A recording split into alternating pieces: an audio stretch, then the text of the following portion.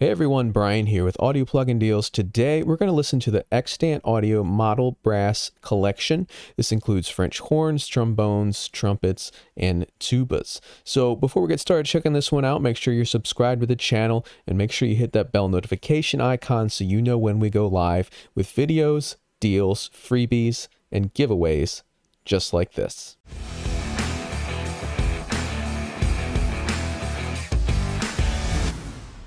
So the Xtant Audio Model Brass Collection, it includes um, different instruments for the French horns, trombones, trumpets, and tubas. It also has different instruments in the trumpet family, for instance, like the piccolo trumpet, the cornet, and then the uh, contrabass tuba and euphonium as well instead of just the tuba.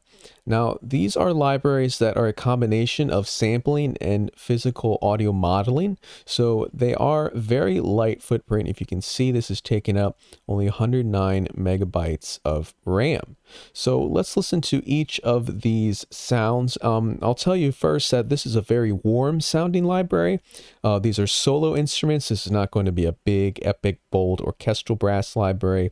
This is a very warm sounding solo instrument library. We have different French horns as well. As you can see, there's four different ones here, each with their own tonal characteristics. So I'm going to play through and also show you some of the features here, such as the positioning tool as well. Let's check it out.